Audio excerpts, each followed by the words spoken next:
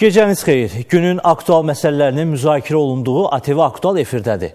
Əhalinin sosial rifahının daha da yüksəldilməsi dövlət siyasətinin başlıca istiqamətlərindən birini təşkil edir. Elə Prezident İlham Əliyevin aztəminatlı ailələrə birdəfəlik yardım verilməsi haqqında son sərəncamı da dövlətin səmərəli sosial siyasətinin daha bir təzahürüdür. Sərəncama əsasən ünvanlı dövlət sosial yardımı alan ailələrin hər birinə Dünya Azərbaycanlılarının Həmrəylik günü və Yeni il bayramı münasibəti ilə 100 manat manat məbləğində birdəfəlik yardım ödənilməsi nəzərdə tutulur. Birdəfəlik yardımın maliyyələşdirilməsi üçün 5 milyon manat ayrılacaq. Mövzunu qonaqlarımızla müzakirə edəcəyik. Bugünkü qonaqlarımız millət vəkili Hikmət Babaoğlu və Əmək və Əhalinin Sosial Müdafiəsi Nazirliyinin mətbuat katibi Fazil Talıblıdır. Hər birinizi salamlayırıq, xoş gəlmisiniz, dəvətimizi qəbul etmisiniz. Hikmət müəllim, əhalinin az təminatlı hissəsi dövlətin daim diqqət və qayğısı ilə əhatələnib. Hələ 2003-cü ilin fevral ayında yoxsulluğun azaldılması haqqında ilk dövlət proqramı qəbul edildi. 2008-ci ildə də eyni qaydada yoxsulluğun azaldılması ilə bağlı dövlət proqramı qəbul edildi və bu günə qədər çoxlu sayda işlər görülüb, proqramlar, dövlət layihələri həyata keçirilib. İstərdik ki, xronoloji ardıcıllıqla dövlətin bu yöndə siyasətini haqda danışasınız danışasınız. Çox sağ olun. Elə doğru başladınız ki, dövlət proqramı. Dövlət proqramı nə deməkdir? Dövlət proqramı o deməkdir ki, dövlətin konkret sahə üzrə siyasəti ardıcıldır, sistemlidir, kompleksdir və məqsəd yönlüdür. Yəni epizodik olaraq bir fərmanla və yaxud problem yarananda onu həll etməklə bitmir. Mən düşünürəm ki, elə institusional yanaşma da budur. Çünki hər bir ölkədə biz bilirik ki, az təminatlı təbəqə var. Bütün cəmiyyətin təbii strukturu elədir ki, o müxtəlif təbəqələrdən ibarətdir Hı -hı. və əsas odur ki, Azərbaycan dövləti bu problemi həll etmək üçün hələ 1995-ci ildə qəbul edilən konstitusiyasında özünün dövlətçilik fəlsəfəsini, dövlət idarəetmə fəlsəfəsini sosial dövlət fəlsəfəsi kimi elan edibdir və bu məsələlərin də hüquqi bazası elə orada öz əksini tapır. Ona görə də cənab prezident hələ 2003-cü ildə dedi ki, bizim siyasətimizin mərkəzində Azərbaycan vətəndaşının rifahı durur. Rifah dedikdə yenə ilk gözümüzün qabağına gələn heç şübhəsiz ki, az təminatlı ailələrdir, sosial e, demək e, problemləri olan əhali təbəqəsidir və bunların problemləri həll olunmalıdır. O vaxtdan bu vaxta qədər keçən dövr ərzində Azərbaycan dövləti çox böyük işlər görübdür müxtəlif vaxtlarda çox mühüm qərarlar qəbul edibdir. Yoxsulluğun azaldılması əslində elə deməkdir ki, sosial problemli olan vətəndaşların problemlərini həll etmək və 49%-dən bu gün 5%-ə qədər yoxsulluq azalıbdır. Amma biz bunu təkcə götürüb bir fərman əsasında təhlil etsək dövlətin sosial siyasətini, mən düşünürəm ki, düzgün nəticələrə gəlməyə bilərik. Ona görə də buna kompleks yanaşmaq lazımdır. Paralel olaraq e, Azərbaycanda regionların sosial-iqtisadi inkişafı ilə bağlı dövlət proqramları qəbul edilib ki, bu da bir tərəfdən yenə regionlarda olan az təminatlı ailələrin problemləri üçün şərait yaradıbdır. Buna paralel olaraq ərzaq təhlükəsizliyinin həll olunmasına bağlı, aqrar sektorunun inkişaf etməsindən bağlı çoxsaylı fərmanlar, sərəncamlar qəbul olunubdur və e, regionlara xidmət aparılıbdır, kommunikasiya xidmətləri aparılıbdır, enerji xidmətləri aparılıbdır, yol infrastrukturu yaradılıbdır və s. Bunların bu layihələrin hər biri əslində özündə həm də e, öz ətrafında e, mikroiqtisadiyyat formalaşdıran layihələrdir və mikroiqtisadiyyat nə deməkdir? Mikroiqtisadiyyat orada varsa demək burada artıq məşğulluq var. Bəli. Demək kimsə cəlb olunacaqdır bu proseslərə Hı -hı. və əmək bazarı genişlənəcəkdir. Əmək bazarı genişlənəndə iş yerlərinin sayı çoxalanda isə az təminatlı əhlələrin də məşğulluğu orada təmin olunacaqdır. Bəli. Ona görə də bax e, son fərman əlbəttə ki, bir dəfəlik yardımdır. Amma bu fərmana qədər olan ardıcıl işlər e, hazırda bu sahədə çox böyük Azərbaycan dövlətinin e, uğurlar əldə etdiyini göstərir. Bu görülən işlər heç şübhəsiz ki, müxtəlif hesabatlarda da, beynəlxalq təşkilatların hesabatlarında da öz əksini tapır və Azərbaycan dövlətinin bu siyasəti təqdir olunur. İlk növbədə Azərbaycan vətəndaşları tərəfindən, sonra da bu sahədə uçot aparan beynəlxalq təşkilatlar tərəfindən. Fazil müəllim, Azərbaycan hökuməti Dünya Bankı ilə birlikdə əhalinin özünə məxşulluq layihəsini həyata keçirir. Siz gündəlik iş prosesində bunun nəticələrini özünüz də şahid olursunuz. İstərdik ki, əhalinin bu təbəqəsinin istehsalata cəlb edilməsi, əmək birjasının müəyyən əmək vərdişlərinin e, qazandırılması e, və digər e, peşələrə yiyələnməsi, ümumiyyətlə bu proqramın icrası haqqında əhalinin az təminatlı hissəsinin maddi rifah səviyyəsinin yüksəldilməsində nə dərəcədə təsir göstərir bu proqram? Təşəkkür edirəm. Təbii ki, cənab prezident tərəfindən aparılan uğurlu sosial yönümlü siyasətin məntiqi nəticəsi olaraq bu gün yoxsulluq səviyyəsinin aşağı, kəskin şəkildə aşağı düşməsi, 5%-ə enməsi, işsizliyin minimuma endirilməsi, ölkədə əhalinin rifah halının gücləndirilməsi, məşğulluq, aktiv məşğulluq tədbirlərinin tətbiqi prosesi davam edir və cənab prezident tərəfindən aparılan siyasətin mərkəzində vətəndaş amili durur, vətəndaşın rifahının yüksəldilməsi durur.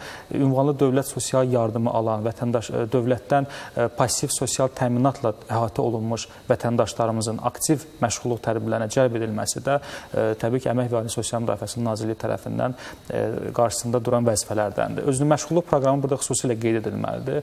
Özünü məşğulluq proqramı 2016-cı ildə Cənab Prezidentin sərəncamı əsasında e, ölkədə tətbiq edilir və ilk dəfə Azərbaycanda dövlət səviyyəsində tətbiq edilən proqramdır.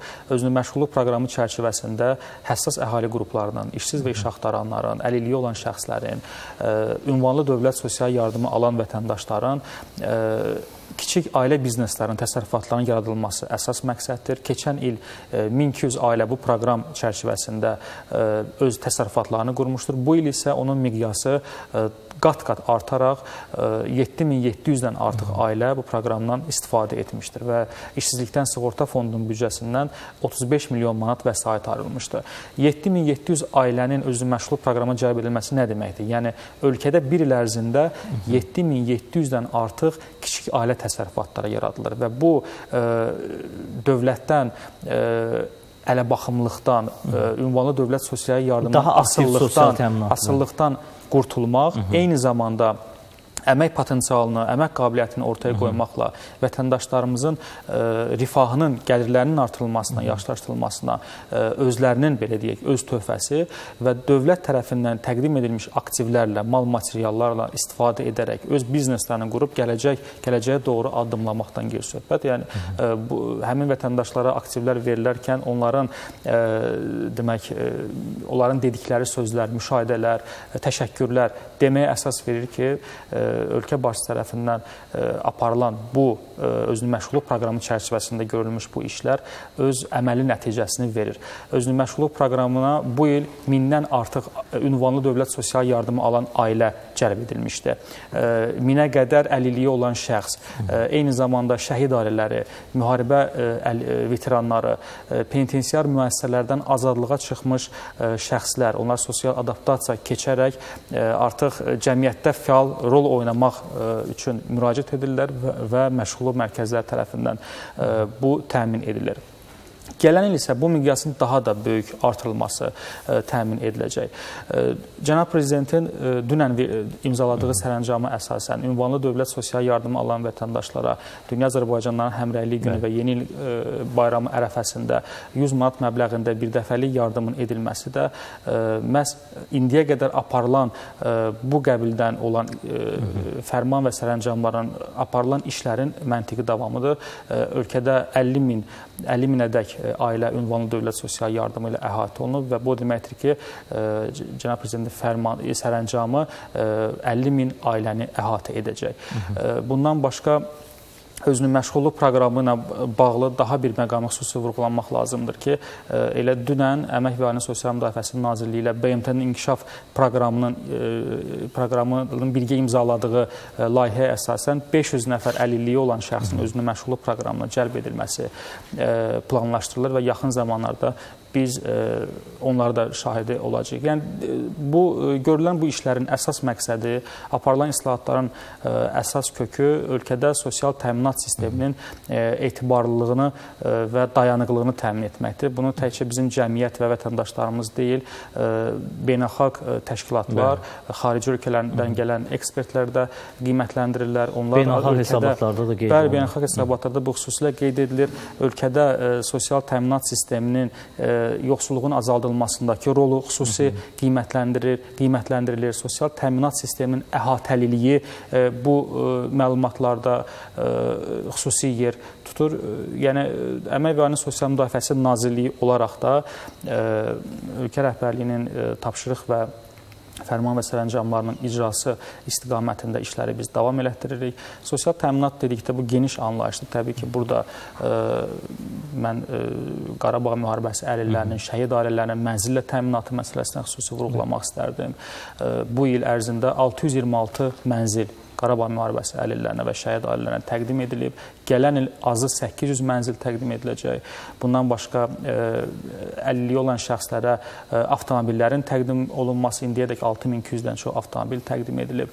E, bütün bu kompleks tədbirlər bir daha onu göstərir ki, Azərbaycan dövlətinin apardığı siyasət sosial yönümlüdür və vətəndaşların rifahının gücləndirilməsinə xidmət edir. Hı -hı.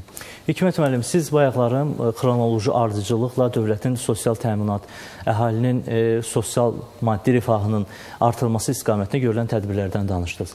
Bir e, məqama xüsusi diqqət yetirmək e, istərdik ki, e, neftin qiymətinin kəskin düşdüyü bir məqamda e, dünyada e, iqtisadi böhranın məngənəsində sıxışdığı bir halda, eləcə də Azərbaycan dövlət büdcəsinə daxil olmaların məbləği, miqdarı azaldığı təqdirdə belə dövlət olaraq sosial maddi rifahın yüksəldilməsinə dair sosial layihələrin həyata keçirilməsi dayandırılmadı. İstərdim bu məqama diqqət çəkəsiniz.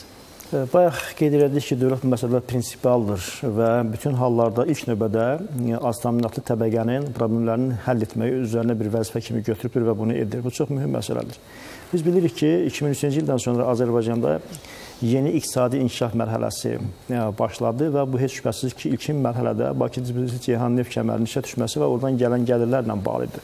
Sonrakı mərhələdə iqtisadiyyatın şaxələndirilməsi ilə bağlı siyasət həyata keçirildi və sonrakı mərhələdə e, demək qeyri-neft sektorunun inkişafından bağlı e, mühüm siyasət həyata keçirildi və bunun ardınca artıq biz bilirik ki, regionlarda sənaye məhəllələrinin yaradılması, aqrar sənaye komplekslərinin tikilməsi, regionların iqtisadi zonalara bölünməsi, zonaların ixtisaslaşdırılması, ənənəvi olaraq Azərbaycanda mövcud olan kənd təsərrüfatı sektorunun inkişaf elətdirilməsi, kənd təsərrüfatı məhsullarının emalının inkişaf elətdirilməsi və s.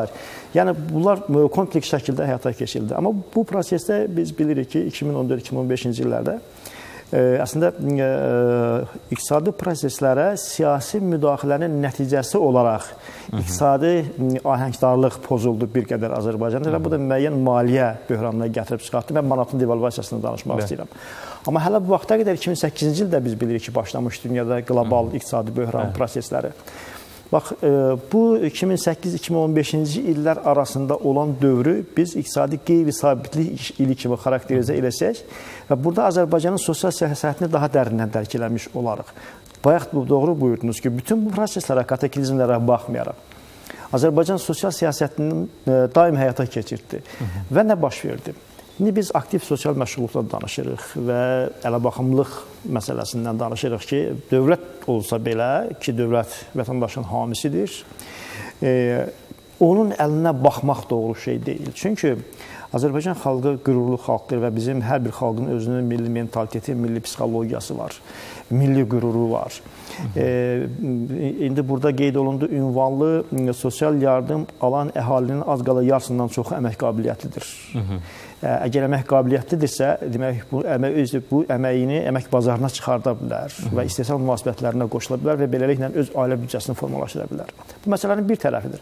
Amma burada mütləq dövlətin dəstəyi lazımdır. Dövlət bu dəstəyi necə verir?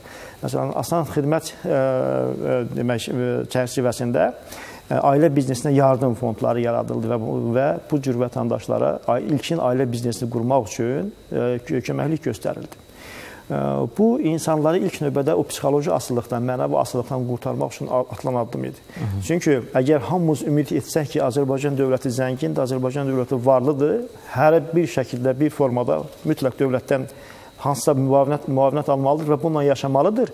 Bu millətin gələcəyi üçün yaxşı perspektiv vəd eləmir. Ona görə də ilkin mərhələdə bəlkə bu cür aktiv məşğulluq siyasəti məsələsi ortaya atılanda, ailə biznesi məsələləri ortaya atılanda bəlkə vətəndaşlar başqa cür düşünür, başqa cür qarşılayırlar. Amma sonrakı mərhələdə bu özünə məxsus mikroiqtisadi proseslər e, hərəkətə keçmiş nəticələr verəndən sonra hər kəs üçün aydın oldu ki, Azərbaycan dövləti nə qədər uzaq görən və doğru siyasət həyata keçirir. Yəni, gələcəyə hesablanan, gələcəyə hesaplanan addım atır. İkinci məsələ Azərbaycan hüquqi dövlətidir. Biz bir, biz bunu bilirik və Azərbaycan bilirik ki, çoxsaylı bütün sferaları tənzimləmək üçün o cümlədən sosial sferada ictimai münasibətləri tənzimləmək üçün daim qanunlar istehsal edir. Və bu qanunlar əslində hüquq yaradır və yaxud müxtəlif addımları məhdudlaşdırır. Bu prosesdə hüquqi maariflənmə məsələsi önə çıxır. Əhalinin az təminatlı təbəqəsi də öz hüquqlarını mənimsəmək və onları tələb etmək prosesində bir qədər ləng davranan təbəqədir. Və ümumiyyətlə hüquqi maarifləndirmə ümumiyyətlə çox mühüm şeydir. Hər bir fərd bunu bilməlidir. Ulunder Hidəliyev deyirdi ki, öz hüquqlarını bilib və onu qorumağı bacaran vətəndaşları olan ən kiçik ölkə böyük məmləkətlər güclüdür. Yəni hüquqi dövlətin əsas göstəricilərindən biri vətəndaşların öz hüququnu bilməsi və onu qorumağı bacarmasıdır. Bunun üçün nə baş verdi? Sosial Müdafiə Nazirliyinin tabeçiliyində demək az təminatlı ailələrin hüquqi müstəvidə fəaliyyətini təmizləmək üçün publik hüquqi şəxs yaradıldı. Eləmi? Dost. Dost adlandırıldı bu qısaca olaraq və bu dost e, müxtəlif ola bilsin ki, hüquqi problemləri həll etmək üçün hüquqla təmasda yaranan və e, bilgisizlikdən əmələ gələn problemləri həll etmək üçün bax belə bir xüsusi dost mərkəzi yaradılıb ki, bunlar da dediyimiz kimi həmin o az təminatlı təbəqənin hüquqi müstəvidə mümkün ola biləcək ehtimal olan problemlərini həll etmək üçün. Bax görürsünüzmü? Bir tərəfdən iqtisadi, bir tərəfdən siyasi hüquqi, bir tərəfdən də qanunla qorunan hüquq və demək təminatlar. Bax görürsünüzmü? Bunlar hamısı nəticə etibarilə ümumilikdə Azərbaycanın sosial siyasətinin ayrı-ayrı komponentləridir, amma bunlar bütövdür, tamdır.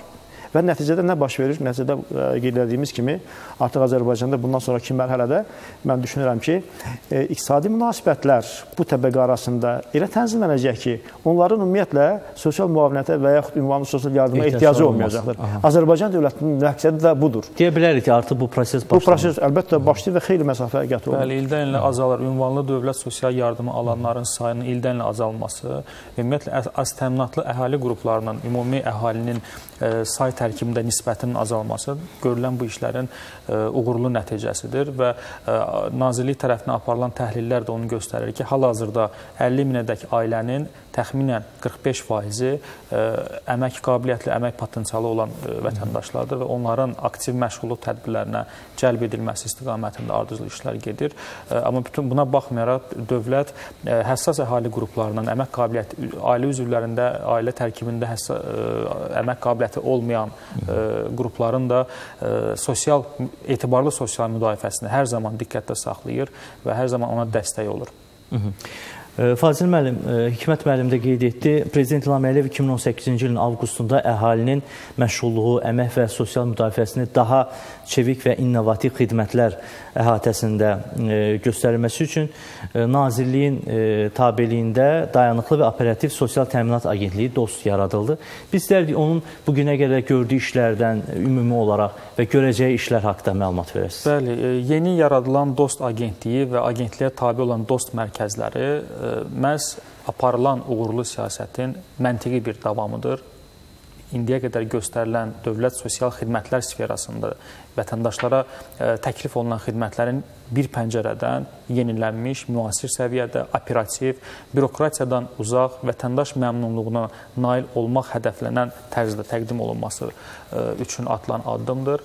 E, ilk növbədə onu qeyd etmək istərdik ki, DOST konsepsiyası ümumilikdə Azərbaycan Respublikasının birinci vitse-prezidenti Heydər Əliyev Fondunun prezidenti Mehriban xanım Əliyevanın təşəbbüsüdür və bu təşəbbüsün reallaşması cənab prezidentin fərmanı ilə həyata keçdi. E, fərmana əsasən nəzərdə tutulan artıq normativ sənəd sənədlər təsdiq edilib. Dost agentliyinin nizamnaməsi, strukturu, e, dost mərkəzlərində vətəndaşlara təklif ediləcək xidmətlərin siyahısı, xidmətlərin göstərilmə qaydası və digər ana sənədlər artıq təsdiq olub, olunub. İlk dost mərkəzinin e, gələn ilin ilk aylarında e, açılması planlaşdırılır. İlk dost mərkəzi Yasamal rayonunda açılacaq.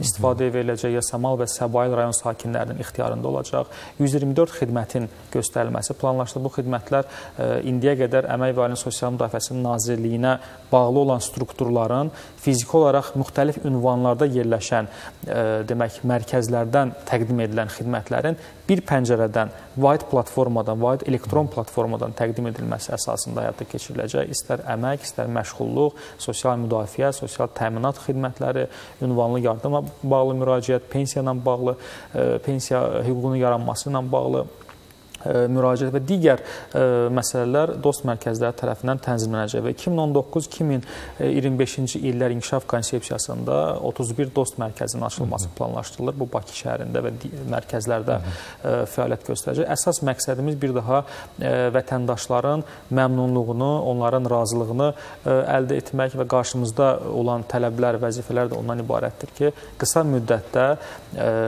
dost modelini ölkəmizin yeni bir brendinə çevirmək və xarici ölkələrə nümunə göstərmək. Çünki bu tipli sosial xidmətlər göstərən ə, e, layihələr dünya ölkələrində mövcuddur. Amma bu miqyasda bir mərkəzdə 124 xidmətin göstərilməsi ə, e, fonunda ə, e, Azərbaycanda qurulan bu mərkəzlərin analoq olmayacaq.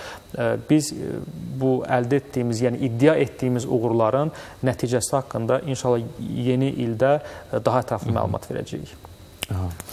Hikmət müəllim, son 15 ildə Azərbaycanda əhalinin sayı 1,5 milyon nəfər artsa da işsizliyin statistikasında azalan temp saxlanıldı. Hazırda Azərbaycanda işsizlik səviyyəsi MDB və Avropa ölkələrində ən aşağı pillələrdə qərarlaşıb. İstədik bu haqda danışasınız. Doğrudur, doğrudan da Azərbaycanda demoqrafik vəziyyət çox yüksək səviyyədədir. Azərbaycan əhalisinin sayı artır. Bu deməkdir ki, Azərbaycan xalqı gənc xalqdır və perspektivli xalqdır. Amma əlbəttə ki, orta hesabla hər il Azərbaycanda 150 minə qədər uşaq doğulur və bunlardan təqribən 100 mindən çoxu hər il əmək bazarına daxil olur bu və digər şəkildə. Çünki e, təhsillə bağlı, digər e, fərqli məqsədlərlə bağlı bir qismi ölkəni tərk edir və yaxud oxumağa gedir və yaxud başqa məşğuliyyət tapır, amma bir qismi əmək bazarına daxil olur. Ona görə bunların məşğulluğunun təmin olunması üçün Azərbaycanda xüsusi konsepsiya qəbul olunub ki, hər il ən azı 100 min, 150 min iş yerləri açılmalıdır. Dediyiniz məsələnin kökü də buradan qaynaqlanır. Əslində Azərbaycan bu prosesləri əvvəlcədən proqnozlaşdırır. Azərbaycan dövlət tərəfindən proqnozlaşdırılır ki, demoqrafik vəziyyət necədir, əhali artımı necədir və bunların nə qədər əmək bazarına daxil olacaqdır və bunların peşəkarlar peşə yönümlülüyünün istiqamətləndirilməsi üçün də paralel olaraq işlər aparılır. Təhsil Nazirliyində biz bilirik ki, çox maraqlı islahatlar həyata keçirilir, peşə təhsilinə xüsusi diqqət ayrılır. Bu nə ilə əlaqədardır? Bu onunla əlaqədardır ki, peşə təhsili prosesində əldə edəcəyi vərdişləri istehsalat prosesində tətbiq edən iqtisadi sahələr yaranır. Azərbaycanda yeni kimya sənayesi formalaşır. Biz bilirik Sumqayıt və Bakı ətrafında Azərbaycanın e, rayonlarında avtomobil sənayesi formalaşır, ipəkçilik, pambıqçılıq, e, kənd təsərrüfatının müxtəlif sahələri və s. Bax, ilk növbədə, ilk növbədə e, bu əmək bazarının genişləndirilməsidir və əmək bazarına professionalların daxil olmasıdır. Buna görə də peşə təhsilinə biz bu qədər diqqət yetiririk ki, bir müddət sonra lap müxtəlif dövrlərdə Azərbaycan bunun şahidi olub və bu təcrübədən faydalanıbdır. Və Sovet dövründə biz bilirik ki, kolxoz və sovxozların peşəkar kadrlarına təmin olunması üçün bu peşə məktəbləri lazım idi. İndi isə yeni keyfiyyətdə bənzər, amma daha modern təsisatlar yaranır, qurumlar yaranır. Bax, bunlar əvvəlcədən proqnozlaşdırıldığı üçün əhalinin artmasına baxmayaraq işsizliyin sayı artır. Normal vəziyyətdə ya bu paralel olmalıdır, ya da əhali artımı, demək, iş yerlərinin açılmasını qabaqlamalıdır. Bizdə isə tərsinədir. İş yerlərinin açılması əhali artımını qabaqlayır. Ona görə də Azərbaycanda işsizliyin e, e, səviyyəsi sabit olaraq qorunur, saxlanılır. Məsələn, 5% səviyyəsində bu çox yüksək göstəricidir. MDB məkanda birinci göstəricidir. Bəlkə çoxsaylı bir çox Şərqi Avropa ölkələri ilə müqayisədə də yenə birinci göstəricidir. Ona görə də demoqrafik proseslərlə əmək bazarından istehsal münasibətlərinin qarşılıqlı əlaqələrinin və əmək bazarına daxil olacaq kadrların, məhsuldar qüvvələrin münasibətlərinin əvvəlcədən proqnozlaşdırılması bax dediyimiz mənzərəni yaradır. Ona görə də Bu prosesin özündə ikinci mühüm məsələ baş verir. Biz az təminatlarlılardan danışırıq. Burada sosial ünvanlı sosial yardım almaq üçün müraciət edənlərin sayı da azalır. Çünki əvvəllər bu proses necə gedirdi? Peşə təhsili yox idi, universitet təhsili yox idi, iş yerləri yox idi və s. Eləmi? Məcbur olurdu bu və digər şəkildə hansısa formada bu yükü dövlət kompensasiya eləsin və yaxud onun o sosial tələbatı bir şəkildə dövlət tərəfindən ödənilsin. ödənilsin. Bax görürsünüzmü? İqtisadi və sosial münasibətlər elə qurulmalı və bir-birini elə tamamlamalıdır ki, burada artıq e, ona ehtiyac qalmasın. Yəni heç müavinət almağa vətəndaşlar müraciət etməsinə ehtiyac qalmasın və Azərbaycanda da hazır hazırda bu proses həyata keçirilir. Fazil müəllim, Dünya Azərbaycanlıların həmrəyliyi və yeni il münasibəti ilə az təminatlı ailələrə veriləcək bir dəfəlik yardım nə vaxtdan etibarən təmin olunacaq? Təbii ki, sərəncamda qeyd edildiyi kimi 28 dekabr 2018-ci il tarixinə ölkə ərazisində qeydiyyatda olan ünvanlı dövlət sosial yardımı alan ailələrə bu yardımın verilməsi tapşırılmışdır və bir neçə gün ərzində ilin sonuna qədər, 28 dekabra qədər bu yardım e, ünvanlı dövlət sosial yardımı alan e, ailə üzvünün, e, ailənin təmsilçisinin belə deyək, bank hesabına oturacaq. Bilirsiniz ki, ünvanlı dövlət sosial yardımı sisteminin həm müraciət qaydaları elektronlaşdırılmışdır, həm də burada vətəndaş məmur təmasının sıfıra, sıfıra, sıfıra endirilmişdir və ünvanlı dövlət e, yardımı alan ailələrin e, vəsaitləri dövlət tərəfindən ödənilən aylıq vəsait onların öz bank hesablarına Hı. ödənilir və bu yardım da cənab prezidentin sərəncamına uyğun olaraq onların öz bank hesablarına ödənəcək. Çox sağ olun. Minnətdarıq dəvətimizi qəbul edib e, bizim studiyamıza gəldiniz. Təşəkkür edirik. Sağ olun. Sağ olun.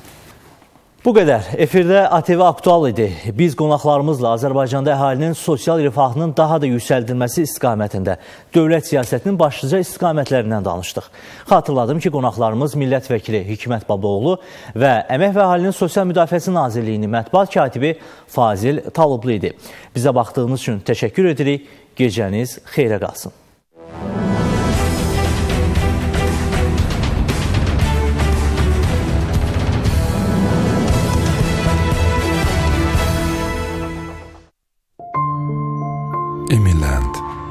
Made in Azerbaijan.